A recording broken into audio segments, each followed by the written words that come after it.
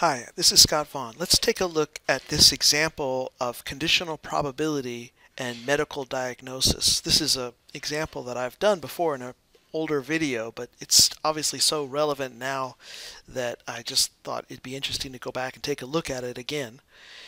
And um, of course, I'm thinking about COVID-19, and uh, I did not try to use any numbers that are related to that specific uh, disease. I don't know really what those numbers are, and that isn't really my goal here, is to analyze that specifically. I just want to look at probability uh, and conditional probability and the topic in general mathematically, uh, and you know because this type, this idea of testing uh, and having positive, uh, false positives and false negatives is relevant. So um, the question says, or the first line here, it says a certain disease is present in 5% of the population. A test for the diagnosis of this disease is not perfectly accurate and has a false positive rate of 1% and a false negative rate of 2%. I'll get back to that in a minute, but let me read the questions. Number one, if a randomly selected person in the population tests positive, what is the probability they have the disease? And number two, if a randomly selected person in the population tests negative, what is the probability they do not have the disease?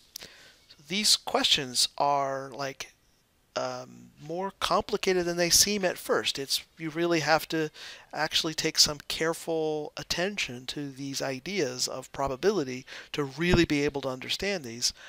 Uh, average person walking off the street would really struggle with this because uh, it isn't obvious. And um, maybe even I want to make a point here that I think is meaningful to me when I talk about uh, probability. This is the mathematics of how we measure uncertainty, right? So we're dealing with obvious uncertainty here in these percentages and these probabilities and how we can make certain logical conclusions about things for which we are uncertain, that's what we call probability. That's the science, or the mathematics of probability. So, okay, and then, like, um, so it says a certain disease is present in 5% of the population. So it doesn't say how many people. This could be a large population, a small population. Mathematically, it doesn't matter for the analysis that we're doing here. Uh, 5%, 5 out of every 100, uh, have this particular disease, whatever it is, right? And then the test that would diagnose whether or not somebody actually has it isn't even 100% perfectly accurate. There would still be uncertainty as to whether they really truly have it, even based on the test results, right? So, so when you say false positive, what that means is that you tested positive, but it's actually wrong. You don't even really have it. That's terrible, but that can happen, right? And then there's false negatives, which are negative results and say you don't have it, but in fact you actually do. Again, awful. I'm not sure which is worse. Maybe the false negative. Uh, but in some ways, the false positive is really bad because then you could go through all sorts of other, um, you know, unnecessary treatments. Or you know, I mean, both are terrible, um, but they happen. They're absolutely a part of uh, real medical diagnosis. And uh, so, with these uncertainties, we, we can think logically and mathematically about these two questions. If you are completely randomly selected person, you know, selected completely randomly from the population, uh, and and what I'm talking about here specifically is that we you you don't necessarily have a person that has symptoms of whatever this disease is. Of course, that would change your measurement of the uncertainty. If they have symptoms of the particular disease, that would change how you measure the uncertainty as to whether they have it. We don't have that given in this question number one. It just says person is, you know, just given the test randomly.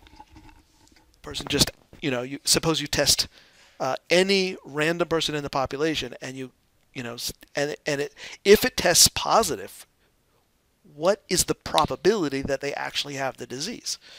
So without a real careful analysis, it's really difficult to do. There's a there's a whole subject in probability called called Bayes' theorem, which can handle much more sophisticated questions than this one. I don't need to come up with the formula here for Bayes' theorem because I can answer this specific one and questions similar to this with a table. And so with the table, I think that's a nice way to do it. That's what I'm going to do with this video.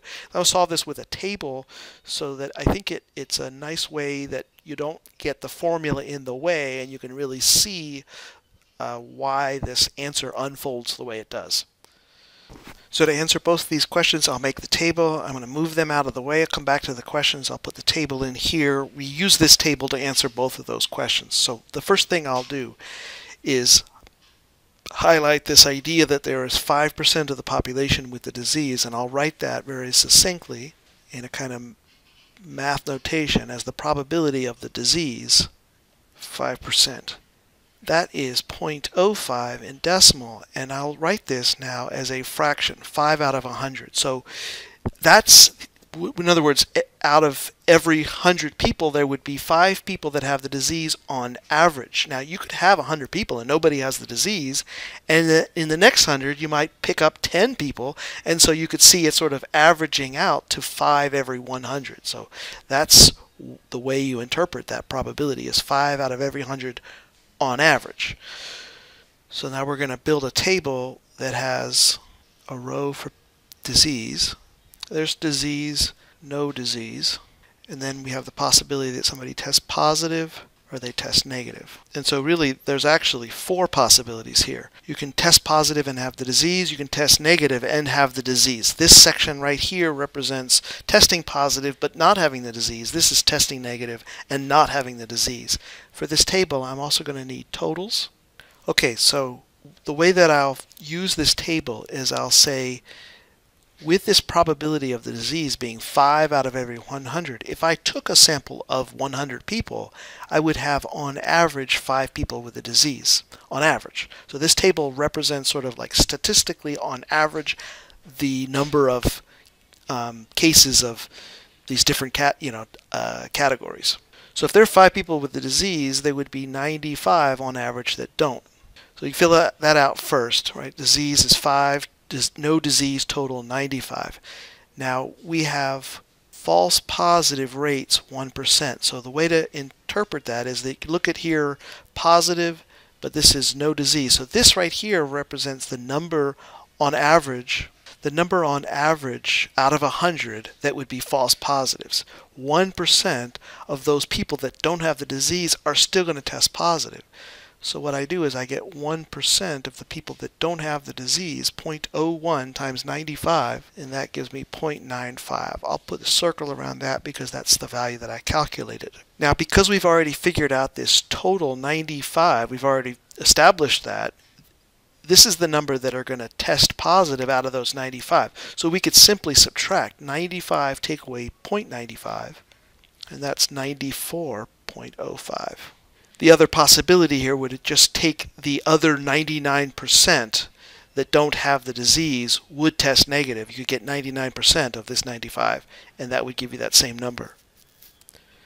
So we've got false positives here. I can go now to this box right here and say, wait, these are people that actually have the disease. There would be five of them on average out of 100. The five people with the disease, um, if they tested negative, that's the false negative. So let's label this box false negatives. And how, what's the false negative rate? It's 2%.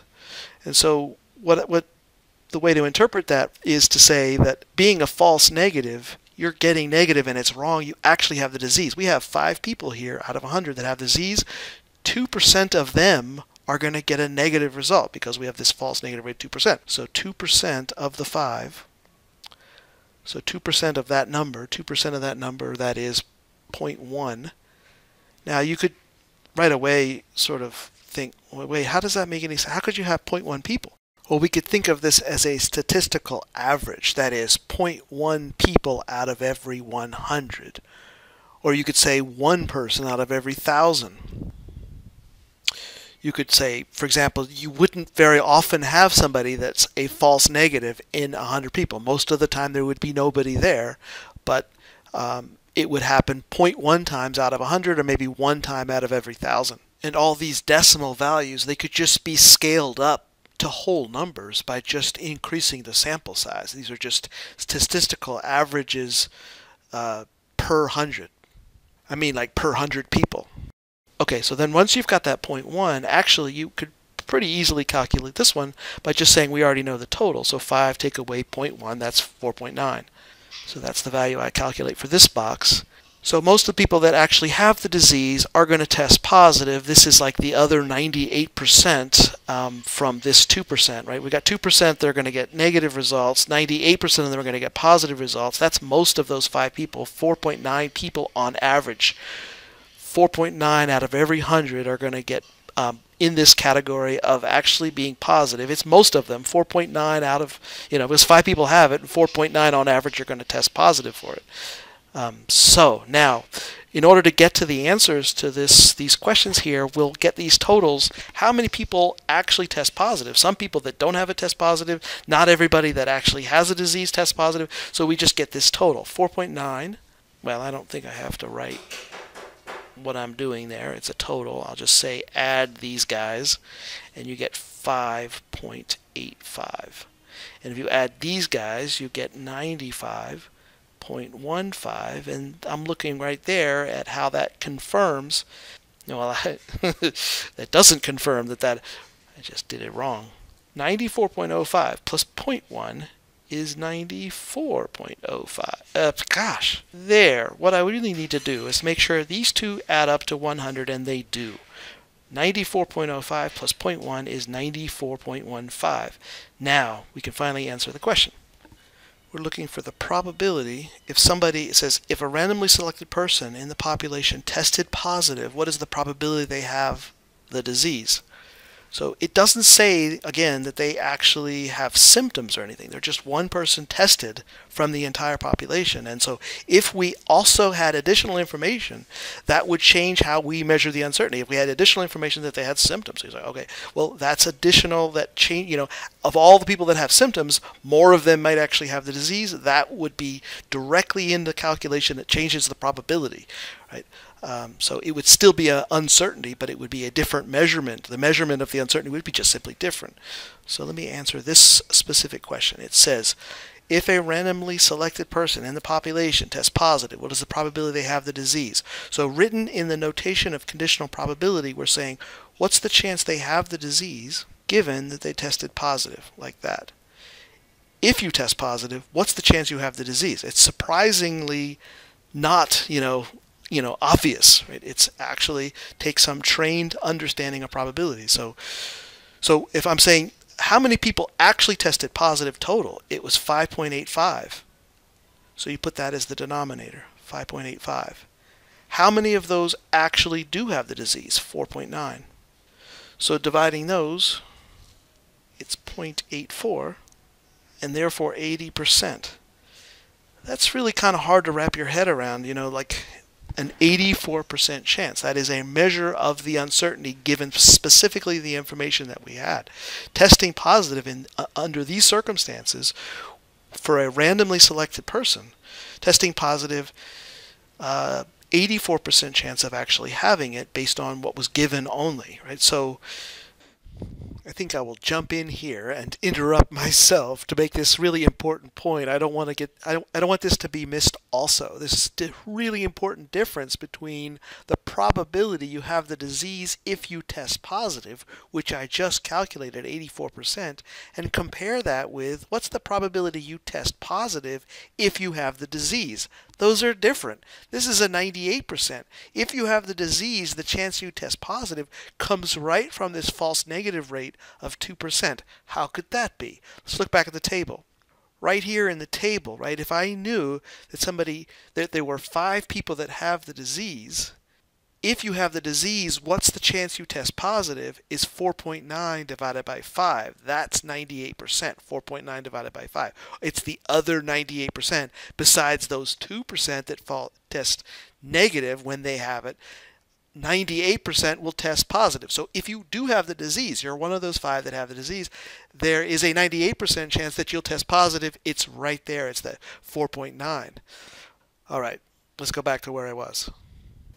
I mean, maybe part of what I'm trying to say here is that that's something that you really could not have done in your head, right? You really have need the training of probability, mathematics to really be able to make sense of that. You still, you know, interpreting what does that really mean? Like, are you 84% You have the disease at a, you know, only saying, you know, it is a measure of the uncertainty. 84%. 84 times out of 100 under those circumstances, another way to say it. Now let's answer this question number two.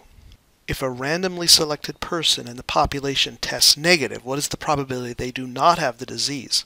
Writing that in the notation of conditional probability, we're saying, what's the chance of no disease given tested negative?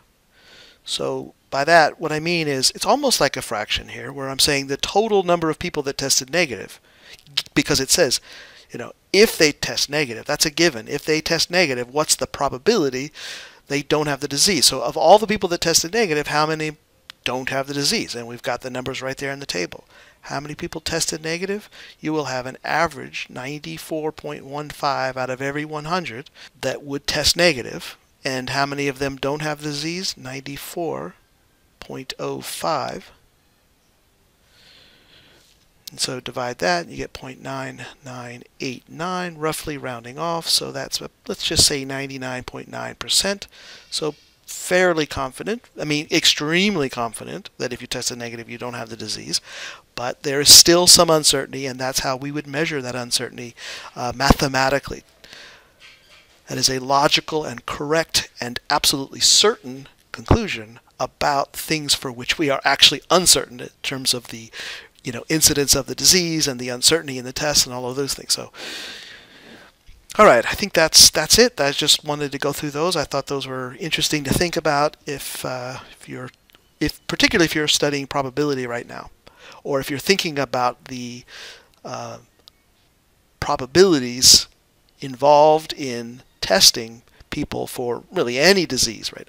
I mean, I've been thinking about testing for coronavirus this whole time that I'm doing this example, but there's this commercial running on TV right now that I see almost every day for Cologuard. A completely different kind of disease, but the mathematics that I'm doing here is exactly the same for both types of um, for both diseases. So part of what is being communicated here in the commercials is information about who the test is really for, and that helps to manage issues of false positives and false negatives in the sense that if a test is used appropriately, that reduces some uncertainty in interpreting those results. And there's information right there in the commercial that comes up on the screen that indicates the false positive and false negative rates. And I can see certainly how the uncertainty that comes from these false positives means patient and doctor need to include other factors in the diagnosis besides just the result of this particular test. All right, so that's the end of the video. Thank you very much. I uh, hope it's been helpful and, and useful.